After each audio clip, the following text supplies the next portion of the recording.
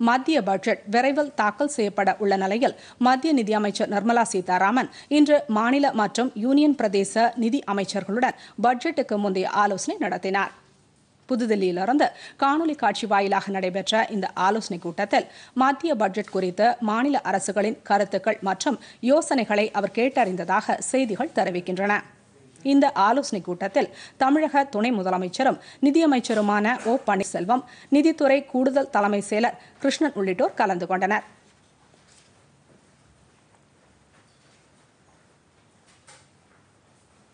இந்நிலையில் சரக்கு மற்றும் சேவை வரியால் மாநிலங்களுக்கு ஏற்பட்டுள்ள இழப்பீட்டை சரி செய்யும் வகையில் மத்திய அரசு பனிரெண்டாவது தவணையாக ஆறாயிரம் கோடி ரூபாயை விடுவித்துள்ளது. தமிழகம் உள்ளிட்ட இருபத்தி மூன்று மாநிலங்களுக்கு இந்த தொகை பகிர்ந்தளிக்கப்படும். இதுவரை மாநில அரசுகளுக்கு இழப்பீடாக மத்திய அரசு எழுபத்தி இரண்டாயிரம் கோடி ரூபாயை வழங்கியுள்ளது. மேலும் தமிழகம் உள்ளிட்ட இருபத்தி மூன்று மாநிலங்கள் மற்றும் யூனியன் பிரதேசங்கள் வெளிச்சந்தையில் கூடுதலாக ஒரு லட்சத்து ஆறாயிரத்து எட்நூற்றி முப்பது கோடி ரூபாய் கடன் பெறவும் அரசு அனுமதி அளித்துள்ளது. பொதிகை செய்திகளை யூடியூபில் தமிழ் நியூஸ் தூர்தர்ஷன் என்ற சேனலிலும் முகநூலில் டிடி பொதிகை நியூஸ் என்ற பக்கத்திலும் ட்விட்டரில் டிடி நியூஸ் சென்னை என்ற பக்கத்திலும் இன்ஸ்டாகிராமில் டிடி பொதிகை நியூஸ் என்ற பக்கத்திலும் காணலாம்.